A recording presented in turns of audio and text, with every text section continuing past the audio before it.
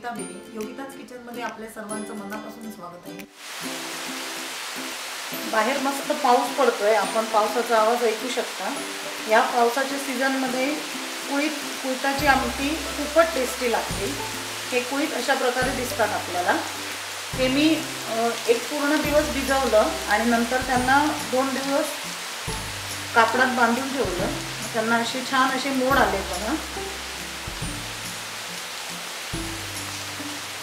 आपण एक वाटी एक छोटी वाटी भिजवलेले. याचे आता एवढे हे झालेले आहेत आता. मोड आलेले आहेत त्याला दोन दिवसांनी चांगले एकदम.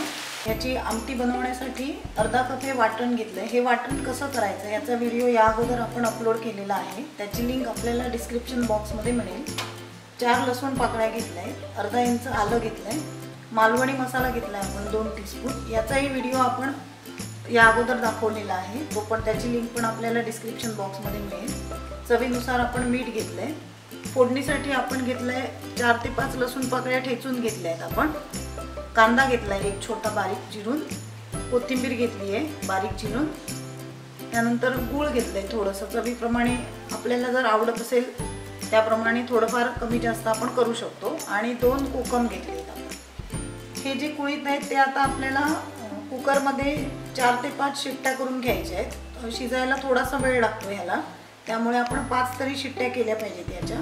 काही न घालता फक्त याच्यात पाणी घालायचं आणि आपण उकडून घ्यायचं आहे. गुळीत आता आपण कुकरला पाच शिट्ट्या काढून उकडून घेतले छान असे मऊ शिजले आहेत आपले आपण आता कुळताची आमटी फोडणीला टाकू. आमटीसाठी आपण कढई गरम करत ठेवली आहे. त्यात आपण थोडं तेल घातलं आहे पहिला आपण ठेचलेला लसूण घालणार आहोत. लसूण थोडा गुलाबी होईपर्यंत परतून घेणार आहोत आपण. लसूण आपला छान परतून झालाय. आता आपण बारीक चिरलेला कांदा घालणार आहोत.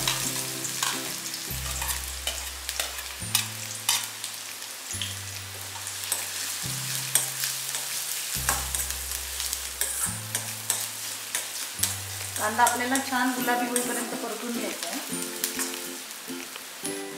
कांदा आपला छान परतून झाला आहे आता आपण शिजवलेले जे आपले कुळीत आहेत ते घालणार आहोत. आपण यातले थोडे कुळीत वाटणात पण घातले त्यामुळे आमटीची टेस्ट वाढते.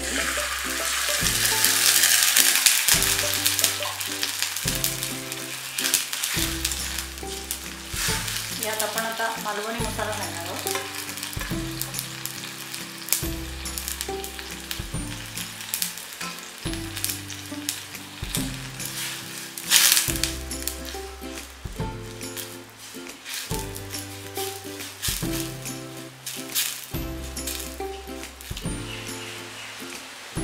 आमटीला आपल्या आता छान उकळी आली आहे.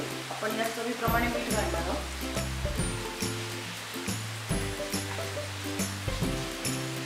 दोन कोकम घालणार आहोत.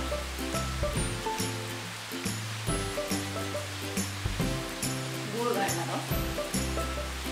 आपण जे वाटण केलेलं त्याच्यासोबत आपण थोडे कुळीत पण वाटले.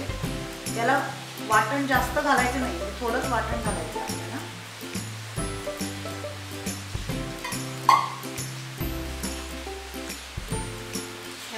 चांगलं मिक्स करून घ्यायचं आपल्या आवडीप्रमाणे आपण आमटीचा थिकनेस ठेवायचा आहे. अजून थोडीशी आपण पातळ करू आमटी वाटणाचं पाणी जे होतं ते आपण घालू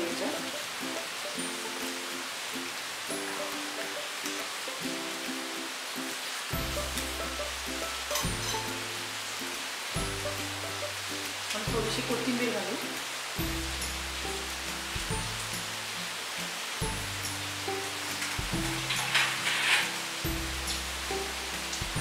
झाकण ठेवून आपण आमटी एक पाच ते दहा मिनटं उकळी उकळून घेणार आहोत. आता दहा मिनटानंतर आपल्या आमटीला छान उकळी आली आहे. वाटण आणि तूप चांगले एकजीव झाले. आता ही आपली आमटी सर्विंगसाठी तयार आहे. भात किंवा चपाती भाकरी कशाबरोबरही आपण खाऊ शकतो. व्हिडिओ आवडला असेल तर नक्की लाईक करा शेअर करा व योगिताच किचनला नक्की सबस्क्राईब करा.